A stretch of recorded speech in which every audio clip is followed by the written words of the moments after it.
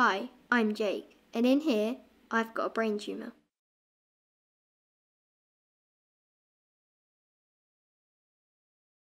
I've got a quiz for you.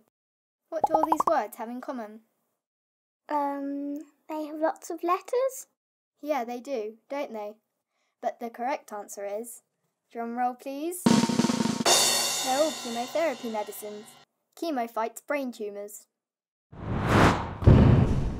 Come and face me, tumor. Ha ha ha. Come and meet Captain Chemotherapy. I'm about to start chemo. What's going to happen? Should I be scared? No, that it's not easy. You've got to be brave. It starts with your doctors. They talk about your age,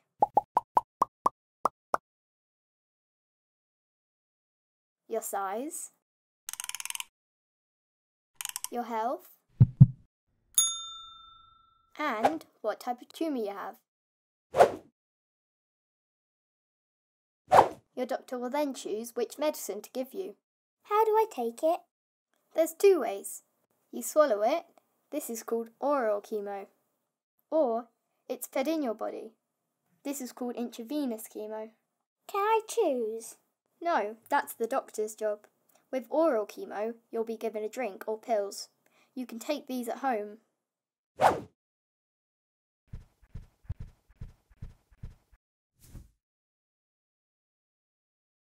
Your mum and dad will play doctor.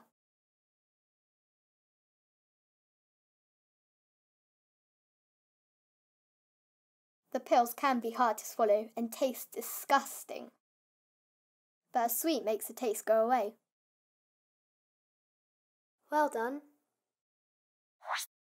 Intravenous chemo is taken in two ways.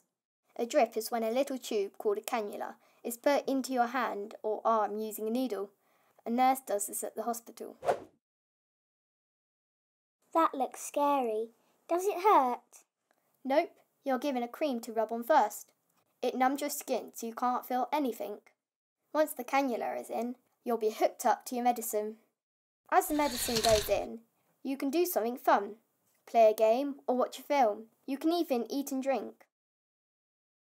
When the bag's empty, the little tube in your hand or arm is taken out. Forever? No, just until your next chemo. For an injection, you need a tiny tube put in called a line or a wiggly. That's what my doctor calls it. to get a wiggly, you go to hospital. The nurse gives you a medicine. It makes you fall asleep. And when you wake up, you'll have a wiggly. There are different types of wiggly. I've got a central line. Do you want to see? Oh, yes, okay. The wiggly stays in me, even when I'm not at hospital. Are you ready, Jake? Yep. Your nurse must wash your hands first. This is how my medicine is injected.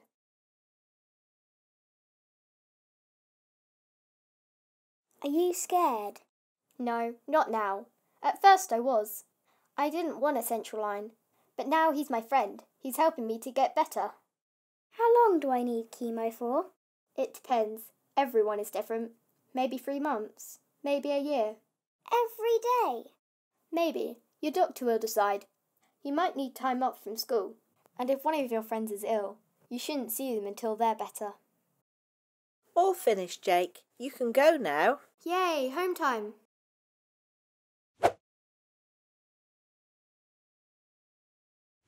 Oh, I feel sick. It's a side effect of chemo. What's a side effect?